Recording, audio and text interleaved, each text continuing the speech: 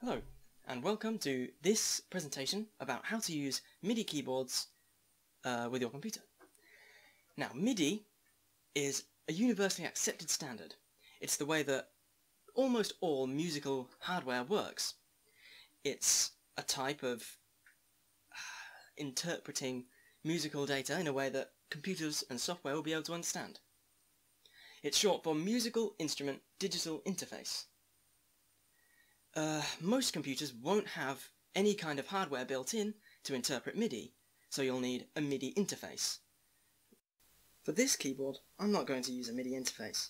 I'm only using one keyboard. So instead, I have this USB to MIDI adapter. The MIDI interface is effectively stored in the plug, and on the other end are the MIDI in and MIDI out. To connect this to my computer, I can plug the USB end of this cable into a USB port. The other ends of the cable are labelled MIDI in and MIDI out. This is MIDI in and out of the interface, so I need to plug the MIDI in end of this cable into the MIDI out socket on my keyboard. As I plugged it in, Windows said it was installing drivers. Now that's not particularly important, but it is worth noting that you will need to install drivers for any kind of new hardware. Now that we have our keyboard plugged in, we need some kind of software on our computer to understand the MIDI data. Uh, there are programs that are dedicated to just this, but I'm going to use a DAW, DAW, Digital Audio Workstation. In this case, I chose to use FL Studio, because it's what I'm most familiar with. To use a MIDI instrument in FL Studio, go to Options, MIDI Settings, and choose your MIDI interface. In my case, it's USB to MIDI, and click Enable. For specific controllers, you can change the type, and you can change different things to different MIDI channels. Seeing as I'm only using one interface, it's not very important to use different channels, but this might be useful if you're having lots of different MIDI instruments and you want to send different ones to different instruments. Doing this will assign the keys to the different notes in FL Studio and send them to the channel that's selected. But you can also hook up things like this modulation wheel. And to do that, Right click on the parameter you want to link it to, press link to controller, and turn the knob that you want to link it to. Now I just change the volume of the kick to be assigned to the mod wheel, and as I turn it you can see that the volume turns up and down. As I play it, it works. As well as this, this particular MIDI keyboard, and most of them, have velocity, which links the volume of what you're playing to how hard you press the key. So if I press it gently, it's very quiet. If I press it hard, it's louder. This might get irritating if you want to record and you want to add your own velocity later. So to turn this off, go to Options, MIDI Settings, link Note On Velocity to None. You can also link anything to the velocity. So far, we've just been playing the kick. It's quite useful to be able to play instruments that aren't the kick. So to do this, I'm going to add a new channel by clicking Add New Channel, and I could add any of these, but I'm going to add FL Keys, which is FL Studio's built-in piano. So now, whenever I play the keyboard, I have a grand piano. To choose between the channels that are already in, I just click on them.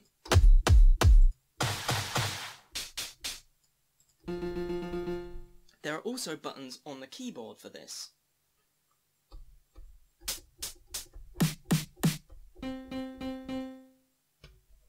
A useful feature in FL Studio is the piano roll. What this does is it allows you to manually sequence MIDI data. So, I right click on the channel that I want to send notes to and click piano roll. I can now add any notes that I like. So, I'll just add something quickly and then fast forward.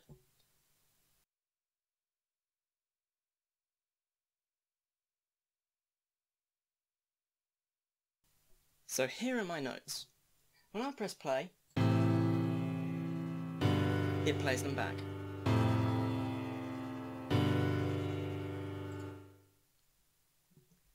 To do this, I simply clicked to add a note. It plays it back so you can hear it. Then you can drag this end to change the size of it and move it around in move it around in pitch and time. Hold right click and mouse over it to delete notes. There are also other tools in the piano roll. The paintbrush paints notes like this. Delete deletes notes. It's exactly the same as right clicking. Mute turns notes off so that you can turn them back on again. Slice cuts them into pieces. Select selects notes so that you can do things to them all at once, such as delete or resize. And we also have playback, which plays back the notes that are equal to this line. So when I click,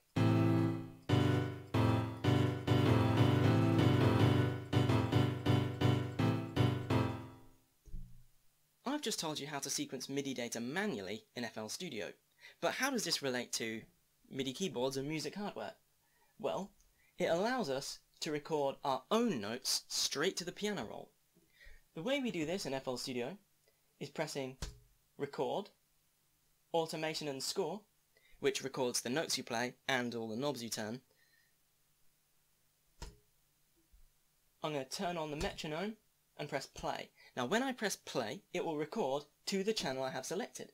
So I can select the kick or the clap or whatever and record to those. But I want to record to FL keys, so I'm going to make sure that's selected right now. When I press play, it'll count me in for four beats and then record. Before I record, I'm going to add a separate FL keys and record to that instead, so it's easier to manipulate the notes separately. I'm going to right click and press clone. What this does is creates an identical channel to the first one. I'm going to record now. I'm going to press record, automation and score, and when I'm ready, I'm going to press play.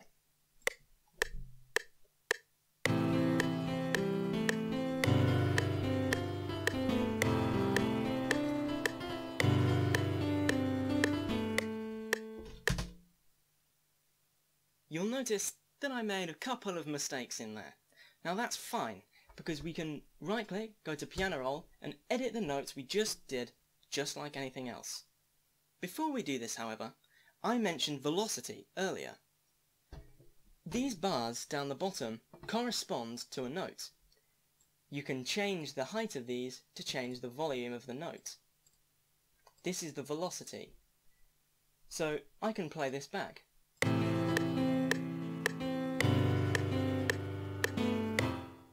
And the ones with the lower bars have less velocity. Now, one, some of the biggest mistakes in this were the timing, and we can fix this automatically with something called quantization. Now, what quantization does, it's designed to fix the timing of things. It splits time up into a series of sections. So, for example, a quarter of a beat long. If the start or the end of the note is close to one of these lines, it will move it so that it's dead on. So that each note can only start or end on the nearest quarter of a beat. This helps to make timing more accurate. To do this, I can click Tools, Quantize, and it will automatically move each note to each of these lines. You can choose sensitivity, how far away from the line it has to be, quantize end time, duration, which is both start and end. So I'm just going to press OK. And this will have changed the timing quite a bit and fixed quite a lot of it. So I'm going to press play.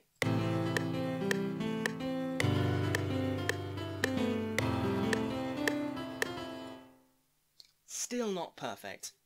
And this is where automatic quantization becomes useful. At the top, there is a snap. This means that anywhere you place a note, it will snap to the lines. You can change how far apart these lines are to sixth step, third of a beat, to anything in this menu.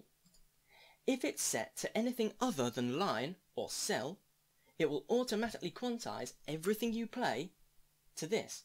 So I'm going to press quarter of a beat. Now that automatic quantization is on, I can record again.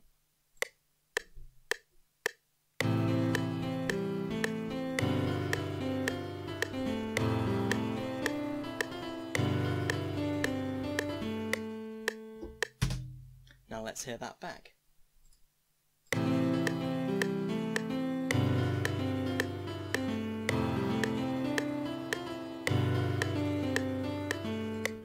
It appears my timing is so bad that it's quantized it not quite right. I think I should have taken a bit more time to screw around finding the right setting here to get it right. Quantizing, however, is no substitute for editing it manually. So now I'm going to edit it myself to make the notes right, and I'll fast forward this part.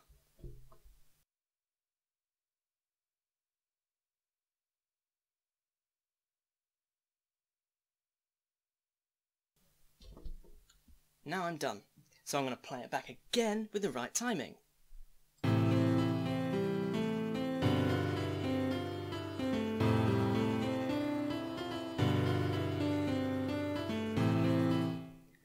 While a second ago it might have appeared that the quantization was badly off, it actually really helped, because it made sure each note started and stopped exactly in time with something. It meant that I wasn't having to use the slicer to cut every single note to the dead right length, so they weren't all different lengths. It did actually make my life a bit easier. Now that I have everything in decent time, I can show you one more thing, another automatic tool to change everything. This swing slider. It's fairly self-explanatory. Turn it up for more swing.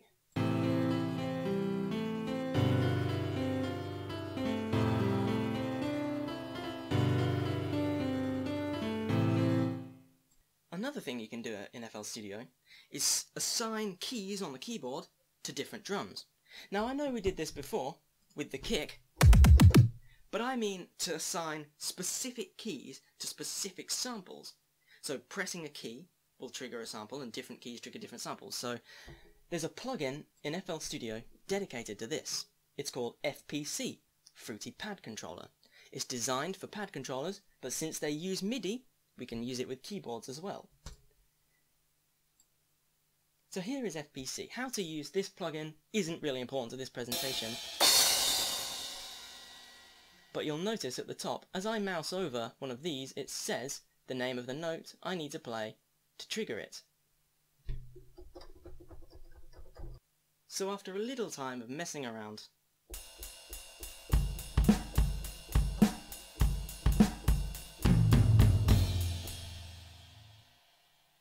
Still not perfect though. Another thing in FL Studio is the ability to add effects to things. I'm not going to explain many of the complications. Just delete this quickly. But you can click on the channel and drag this number up and down to assign it to a mixer track. I'm going to assign it to number 5 and I'm going to do the same with the other channel. Now, in the mixer, on number 5, I can add an effect. I'm just going to add reverb turn it up, and straight away, reverb. There are also a number of channel settings as well. If I click on a channel, here's the plugin, if I click this, I can see the settings, and there's a number of interesting things in here. For example, portamento. This would be a bit more beneficial on the melody, I think.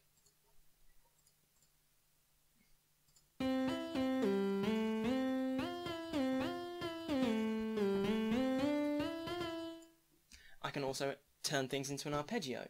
The way the arpeggiator works is it, when you play a chord, it plays every single note in that chord in the order that you choose. So, you can go up the chord, down the chord, up and down the chord. So I'm going to go up and down, it sounds like this. You can turn the range up to do more than one octave.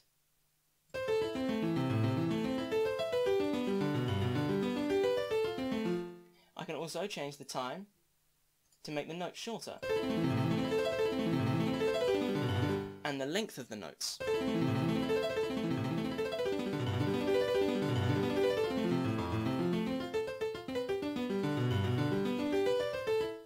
So now when I play it back with these changes,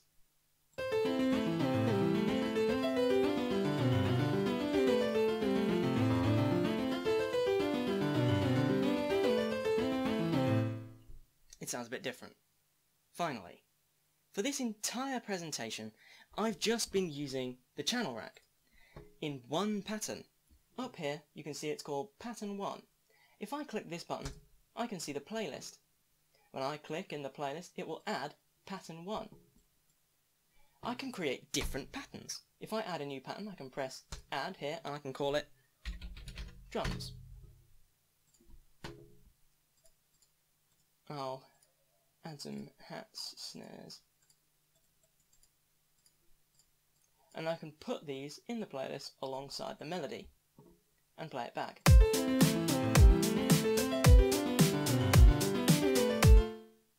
So that's it for this presentation. That was the basics of recording and manipulating MIDI data in FL Studio.